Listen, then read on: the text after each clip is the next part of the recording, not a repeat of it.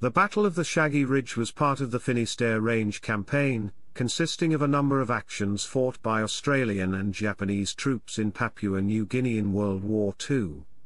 Following the Allied capture of Lae and Nadzab, the Australian 9th Division had been committed to a quick follow-up action on the Huon Peninsula in an effort to cut off the withdrawing Japanese.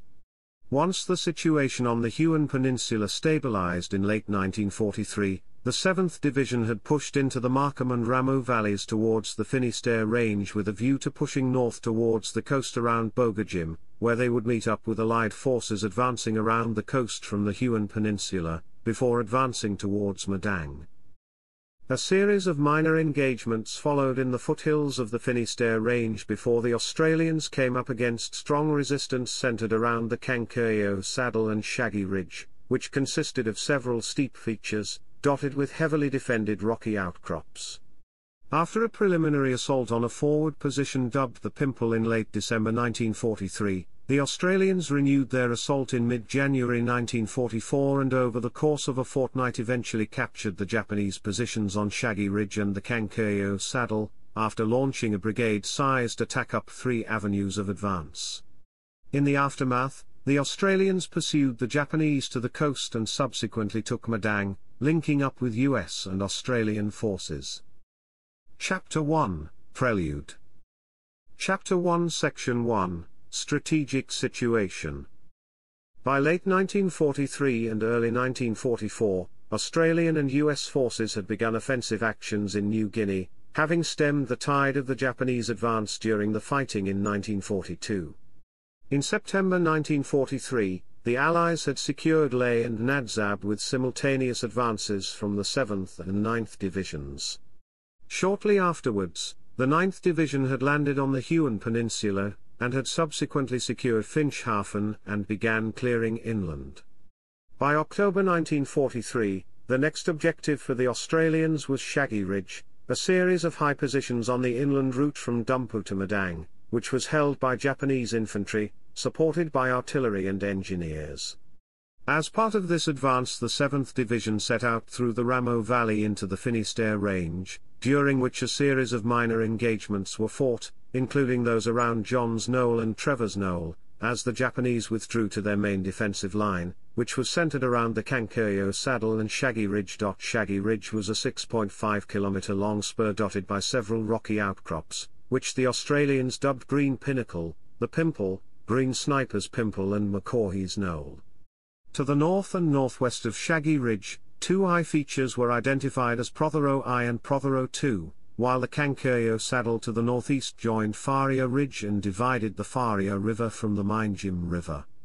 The Japanese had established numerous strong posts and positions along the ridge, blocking the Australian advance towards the coast, where they were aiming to secure Bogadjim and Madang. The ridge dominated the area around it, standing at 1,700 meters, and in clear weather offered observation as far north as Madang, although largely the area was covered in thick fog which greatly reduced visibility. The sheer nature of the terrain meant that there was only a single track along the ridgeline which was, and according to author Lachlan Grant, in places, only wide enough for one man to pass with sheer drops on either side. Chapter 1 Section 2 Opposing Forces The area was defended by elements of the Imperial Japanese Army's 78th Infantry Regiment, supported by the 26th Artillery Regiment, and the 27th Independent Engineer Regiment, which formed part of a detachment under the command of Major General Masutaro Nakai, who was subordinated to the 18th Army. These units were roughly at half strength, although Australian intelligence estimates put the number of troops around Kankiryo and Shaggy Ridge at around 3,000. Against this, the Australian forces were drawn from the 7th Division, which due to limited resources only pushed two brigades forward at any one time, initially these were the 21st and 25th Brigades, although they were later replaced by the 15th and 18th Brigades. These forces would subsequently rotate throughout the fighting.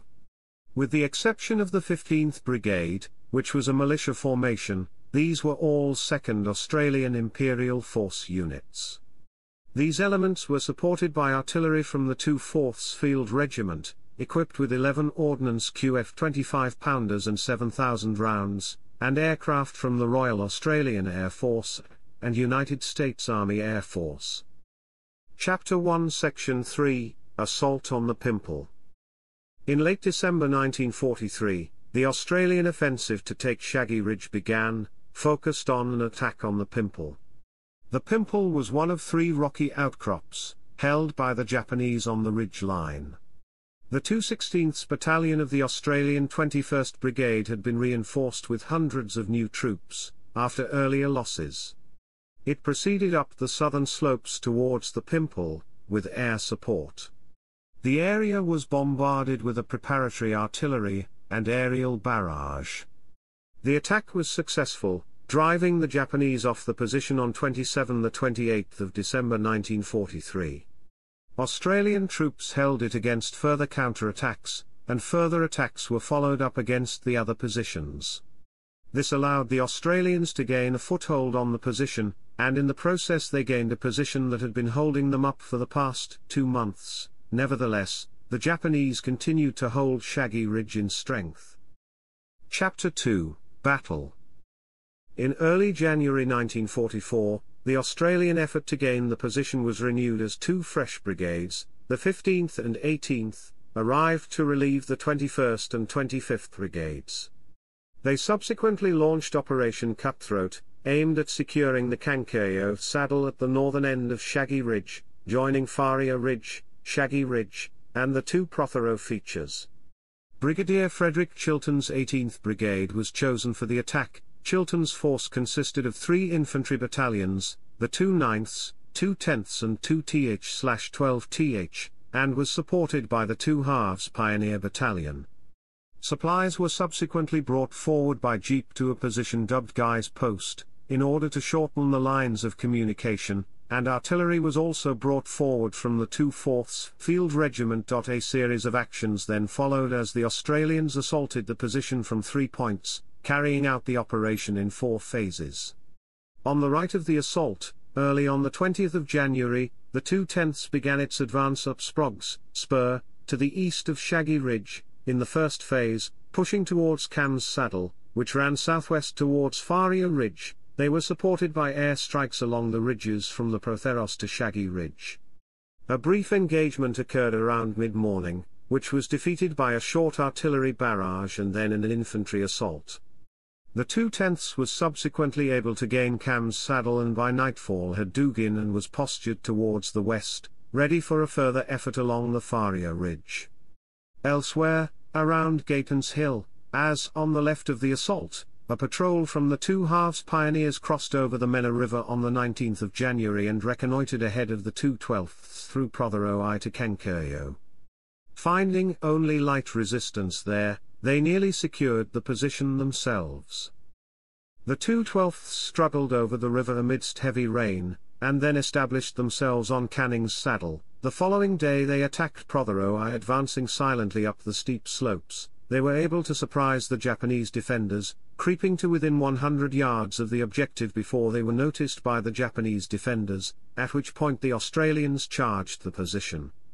Heavy fighting followed with units to the flanks, however, by nightfall on the 21st of January, the two twelfths had secured Prothero I, silencing a Japanese mountain gun which had fired at them at point-blank range from the back door of a bunker, causing 50 casualties, including the battalion commander, Lieutenant Colonel Charles Bourne.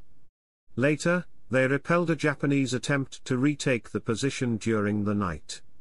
The plan then called for the two twelfths to push southeast along Shaggy Ridge to the Kankiryo saddle.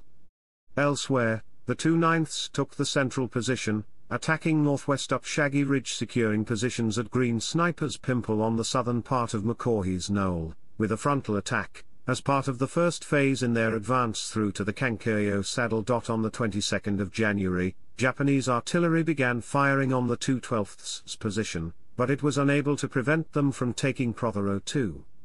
Meanwhile, a small patrol from the two halves pioneers began exploiting the area to the northeast of Prothero 2 and subsequently managed, to install itself in a position on the eastern extremity of Kankiryo Saddle. To the south, the 2 Ninths carried out reconnaissance around the area in front of their position around Green Sniper's Pimple, and located several Japanese bunkers. Deciding on an indirect approach, an Australian patrol was sent to the flanks and under the cover of heavy artillery, they scaled the steep sides of McCaughey's Knoll to take the position with the element of surprise. Earlier, the two tenths had taken several attempts to secure Cams Hill, including an unsuccessful assault on the Japanese rear with a flanking move through the Faria River. Throughout the night, the Japanese launched several unsuccessful counterattack attempts, but these were repelled and on the 24th of January, the 2 9ths and 2 TH-12 TH infantry battalions continued to converge, squeezing the Japanese defenders between them. As a result, the Japanese were forced to abandon positions around the top of the Faria River and the Kankiryo Saddle and they began to withdraw to Crater Hill. The following day, patrols from the 2 tenths and 2 TH-12 TH infantry battalions determined that the Japanese were digging in on that position, and throughout the day the 2 ninths attempted to outflank the position, attacking from behind while the 2 tenths and 2 TH-12 TH assaulted frontally from the south.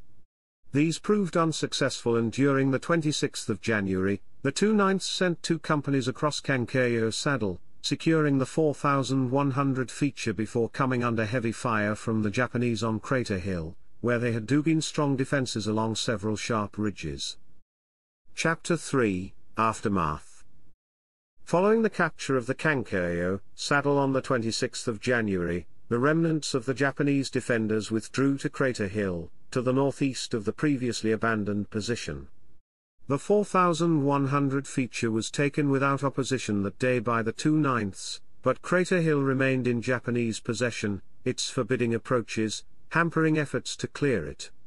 Instead of risking heavy casualties in a hurried follow-up attack, Chilton chose to slowly attrite the Japanese position with indirect fire and aerial attacks over the course of four days.